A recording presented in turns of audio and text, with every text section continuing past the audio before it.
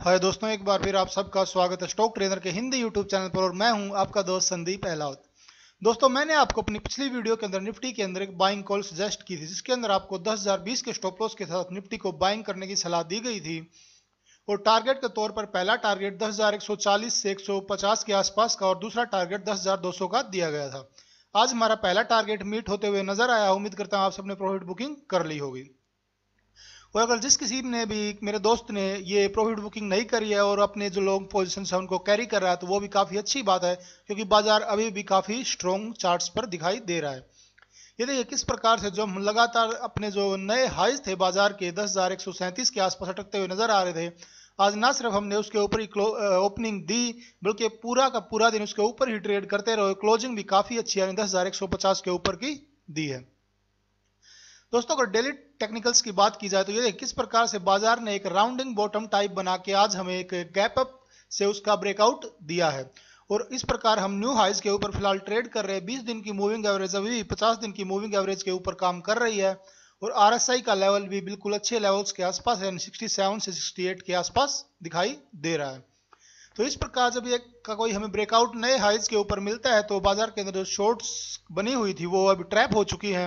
हो सकता है कल हमें अच्छी खासी फॉलोइंग बाइक बाइंग देखने को मिले बाज़ार के अंदर, और दस हज़ार दो सौ से भी ऊपर तक के लेवल्स कल हम बाज़ार के अंदर देख सकते हैं।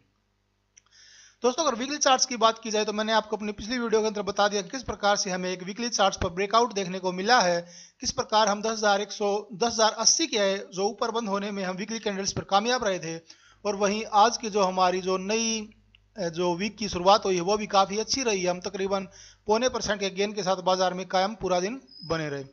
दोस्तों, अगर एफ़ डाटा की बात की जाए तो एफ़ डाटा भी काफ़ी अच्छा दिखाई दे रहा जाम ने पॉइंट परसेंट के गेन निफ्टी फ्यूचर्स के अंदर देखे हैं तो वहीं एक परसेंट के आसपास का ओपन इंटरेस्ट भी बढ़ते हुए हमें नज़र आया है। दोस्तों, अगर कोलपुट डाटा की बात की जाए तो कोलपुट डाटा हमें और भी ज़्यादा बुलिसनेस बाज़ार के अंदर दिखा रहा है, क्योंकि 10,200 के आसपास और 10,150 के आसपास हमें तकरीबन साढ़े ग्यारह ग्यारह लाख शेयरों का पुट्स के अंदर ओपन एडिशन देखने को मिला है।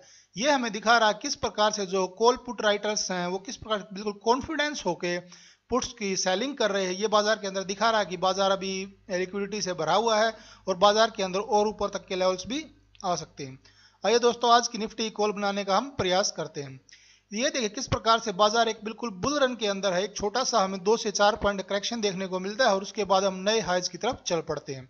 इस प्रकार जब किस किसी हम एक गैप के साथ नए हाइज बनाते हैं या पुराने हाइज को तोड़ के लाइफ टाइम हाइज के ऊपर ट्रेड करते हैं तो फ़िलहाल हम अनचार्टर्ड टेरिटरी में ट्रेड कर रहे हैं। ऊपर के लेवल्स तो साफ़ तौर पर नहीं दिखाई दे रहे, लेकिन रेशियो के हिसाब से अगर हम चार्ट्स के ऊपर एक टारगेट निकालना चाहें तो अब हमें दस हज़ार दो सौ पचास से लेकर दस हज़ार तीन सौ तक के टारगेट्स बाज़ार के अंदर दिखाई देते हैं।